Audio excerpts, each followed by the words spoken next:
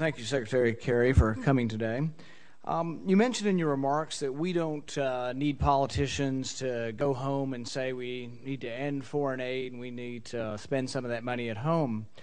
Well, this might come as news to one of the most prominent politicians in our country who said in his reelection campaign that we need to do less nation building abroad and more nation building at home, and that would be your current boss, the President of the United States. So I don't think this is unique to Republicans or Democrats. In fact, it crosses all party lines it's not me going home and creating an atmosphere where people are doubtful of foreign aid. It's that 80 to 90 percent of people are doubtful. We have two bridges in my state that are over 50 years old. President came and I flew down with him to talk about rebuilding them. I'm in favor of replacing bridges and rebuilding our infrastructure. But at the same time, we seem to not have enough money to keep the doors open around here, not enough money to keep the touring of the White House open. This administration sent an extra $250 million to Egypt. Many of us find that offensive. We can't even run the basic functions of government, and yet we send an extra 250 million in addition to the 2 billion we already send over there. So many of us are offended by this. What que- the question I have for you is, the Mubarak family is said to be worth more than 10 billion dollars. Most people say that a lot of that money came from our foreign aid. Mobutu ruled for many, many years in Central Africa. He was said to be worth millions upon millions, if not billions of dollars. His wife was called Gucci Mobutu. She was famous for going to Paris and shopping for shoes with a Louis Vuitton bag full of $500,000 in cash to a million dollars in cash. That money was looted from the American Treasury. There is all kinds of examples of theft and kleptocracy. There's examples of our foreign aid being used to buy tear gas in Egypt, used to spray on the Egyptian people. So I don't think it even buys the goodwill of the people because often it's stolen by their leaders who are unpopular in their country. So I think it's often counterproductive. But I think we're missing the boat here if you think that we're stoking the fires and that the people don't already believe this. This is something that is already in the psyche of the people. People are upset about it, would rather spend money at home. But um, I'd like your comments on the president's position, but also on the the idea of that a lot of foreign aid has been stolen by these leaders. Well, Senator, uh,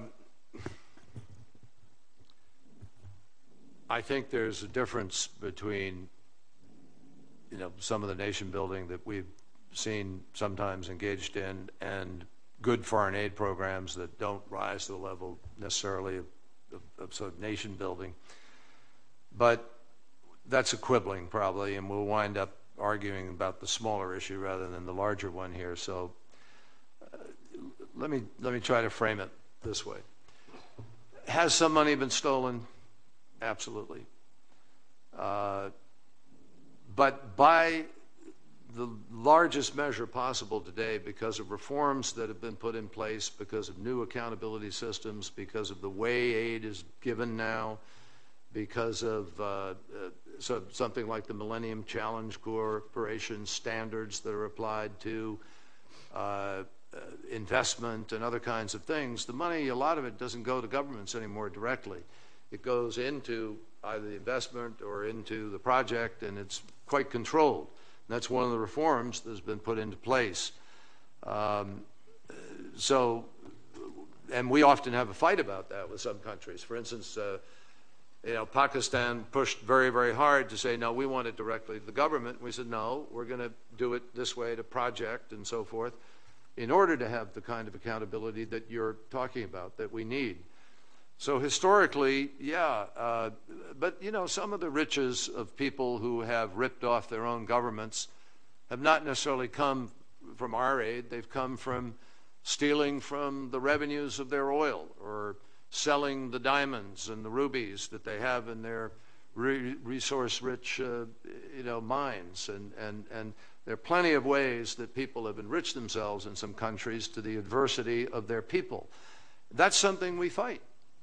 I mean, that is also part of what our foreign policy and investments try to change, is installing rule of law is trying to help with the justice system, create accountability for those things. But nevertheless, we kept sending money to Mobutu for well, years and Mubarak for well, years, despite know. evidence I, that they were stealing it. I, I, I, I didn't make that decision, and and I'll certainly review any program that we're engaged in now, and if you have any information about something we're doing now that somebody's stealing, let me know immediately. But let me just come back to one thing about this. You know, all of this that we do, Senator Paul, is one penny on the dollar. And if you look, I mean, I can go through a long list of things that we invest in that provide a return on our investment. I'll give you an example.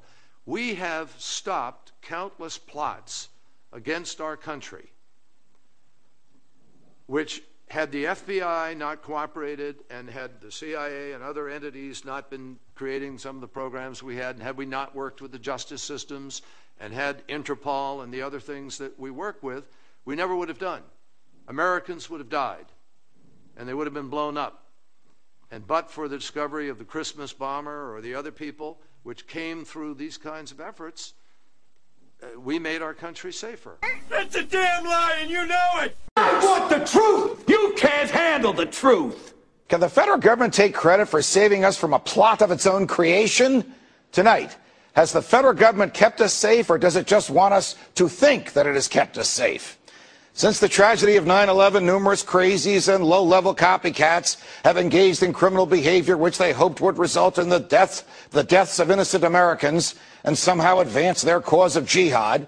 If you ask the leadership of the FBI, most of whose field agents are tireless, dedicated, Constitution-supporting professionals, it will tell you that it, the FBI, has foiled about 17 plots to kill Americans during the past 10 years.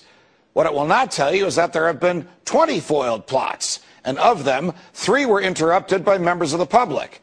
The 17 that were interrupted by the feds were created by the feds. We all remember the three that were foiled by diligent Americans the shoe bomber, the underwear bomber, and the Times Square bomber. In all of these cases, the crimes charged were those of attempting to kill and conspiring with others to do so.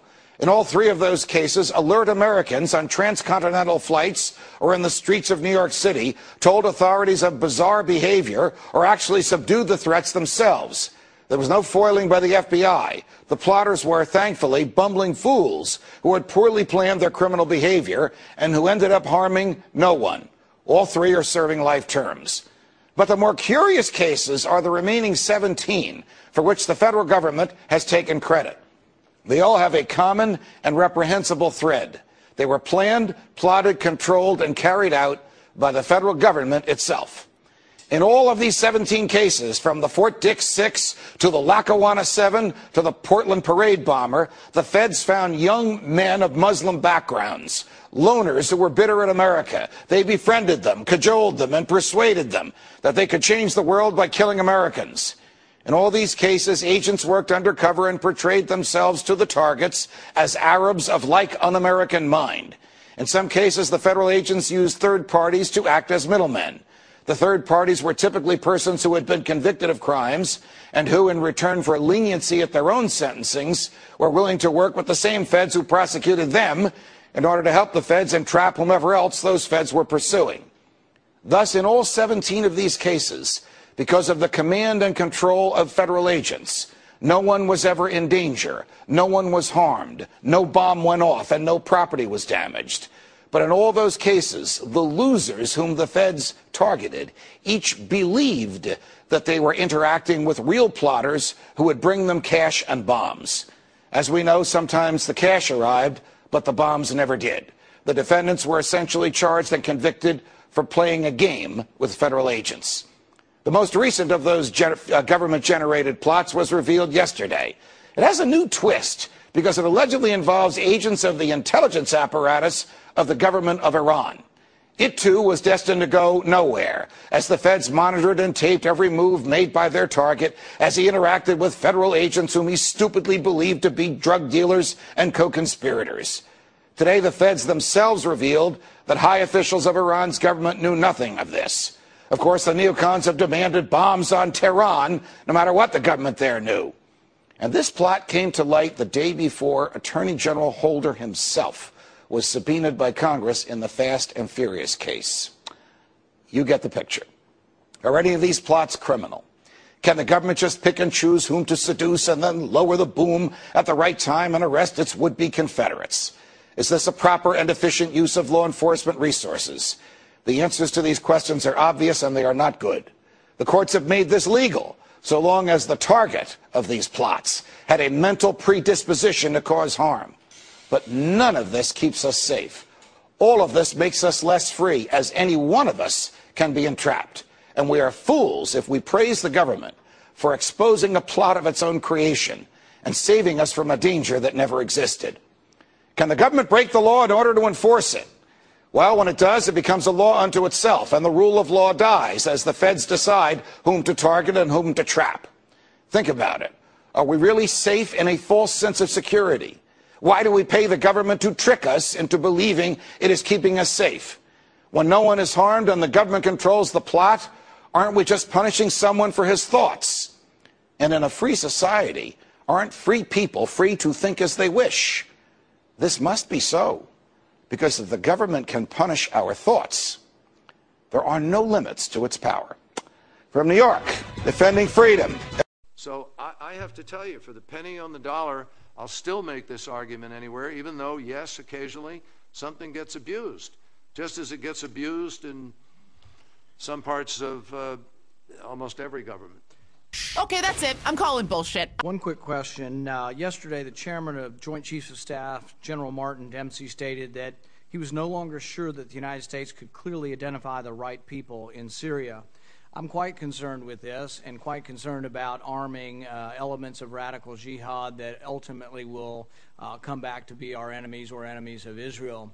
Um, my question is is that there's a you know there's a million Christians in Syria. I don't I don't think they've quite decided which side they're on.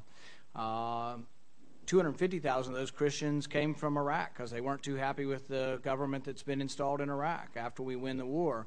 So uh, the question is, you know, you win the war and radical Islam takes over in Syria, or you give weapons to these groups. You have your own Joint Chiefs of Staff saying he's not sure he knows who the right guys are and who to arm.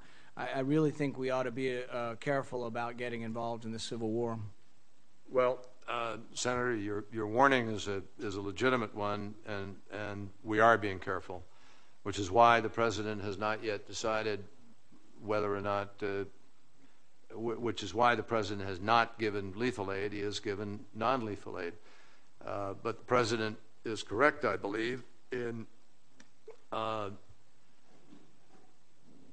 in his determination that President Assad can no longer represent the people of uh, that country and that the Syrian opposition is the broad based uh, international entity that is representative of the real aspirations of the Syrian people. Now, that's a different determination from actually deciding you can protect who's getting what.